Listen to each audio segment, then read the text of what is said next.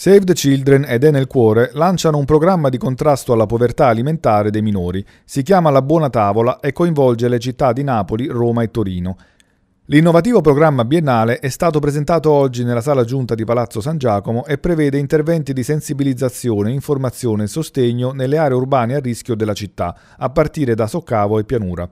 Questi bambini devono sapere che è possibile alimentarsi bene senza spendere troppo e senza neanche troppo tempo da mettere in cucina. Quindi educazione alimentare, c'è uno sportello mobile che girerà in tutta la città, nei quartieri della città per fare educazione alimentare con i bambini e con le mamme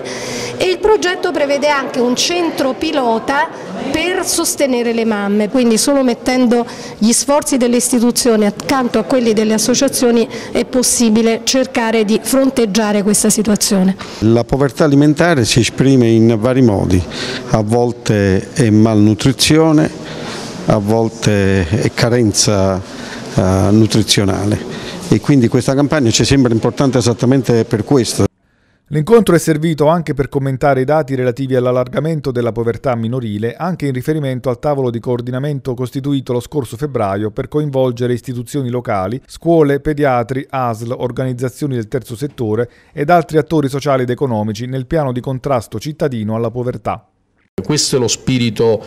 importante per affrontare questi temi, unità, solidarietà, pubblico e privato insieme, bei messaggi che nella nostra città stanno crescendo questi messaggi servono anche a far fronte alle mancanze e alle lacune di chi dovrebbe aiutarci a livello nazionale e che continua a latitare.